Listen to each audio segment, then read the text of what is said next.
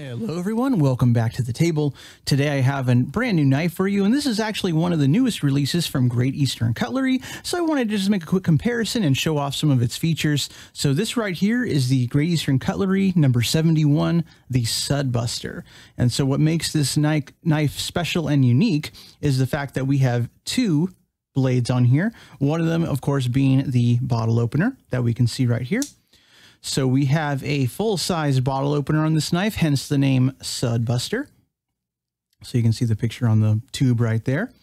And we also have a nice flat edge screwdriver on the tip of that as well. And so that does add, you know, a smidge of utility to what otherwise is a very straightforward um, tool. And this is, of course, a Great Eastern Cutlery pocket knife.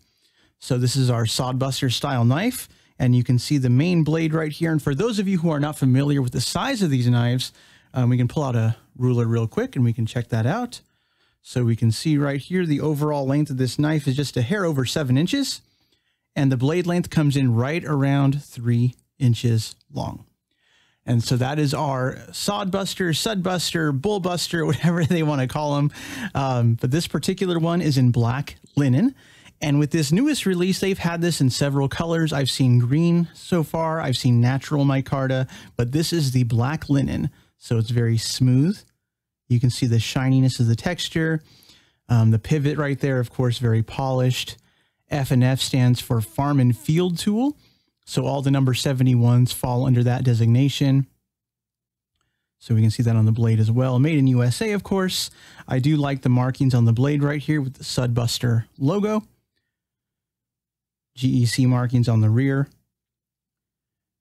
So very nice little drop point blade with a satin finish. And I think this is a 1095 carbon steel blade. So as you use this knife, it's going to carry, you know, a nice little um, finish on it after a while. So the pull on this knife is a little bit heavier than I thought it would be. Um, the bottle opener opens pretty simply, which I like. I'm glad the bottle opener is easy to access, but you definitely do need to use the nail nicks. They're not really pinchable.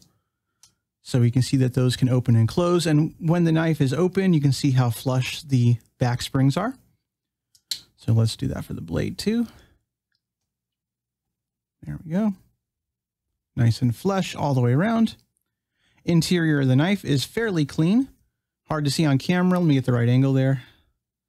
There you go. You can kind of see inside. Nice and clean interior on this number 71. So very nice to see this one. This particular one I did pick up on eBay. So I bought it, I guess you could say secondhand, even though it was from a dealer.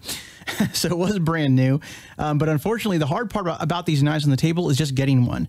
They are very hard to come by. Great Eastern Cutlery is very high quality. And there are a lot of collectors, a lot of people who really, really want these knives for themselves. So every time they come out with a dealer, they generally sell out within seconds, literally, like I'm saying, within seconds of being dropped. Um, so we can do a quick comparison though between this black variant of the knife and uh, the red and green. So this right here is red linen micarta. And you can see again, the very same smooth pattern on it, uh, marked bullnose instead of sudbuster. And of course, there's no bottle opener. Um, what's really nice though is looking at the thickness is that they kept the sudbuster about the same thickness as the bullnose, even though it has the two different tools on it. So they made those micarta scales nice and thin. So I think the next thing that everyone is going to clamor for is getting one of these bullnose knives, you know, with the same thin micarta scales, but still with just the main blade, just to make it a lot slimmer in pocket. So this one right here, of course, you can see is green linen micarta you know, with these three knives or th these two knives here, I really just happened to luck out on drops. I clicked fast enough and I happened to be able to purchase them. You know, I didn't really want to risk it with the Sudbuster because I think there's going to be a little bit more interest in the Sudbuster because from what I've noticed, all of their knives that have the built-in bottle opener tend to generate a lot more interest, even than your standard run-of-the-mill 71s that are already really, really popular with collectors. So the Sudbuster here also came with the button. So we can just see that. I don't know if people collect those. And of course, the difference in the tubes between the two models. So number 71 bullnose, number 71 Sudbuster. You can just see the markings there. Different model numbers. but not a whole lot of difference besides that. So really impressive. I love GEC knives. The only downside, like I said, with these knives is getting a hold of them, you know. And um, I did slightly overpay for this one, like I said, just because I wanted to guarantee that I could have one.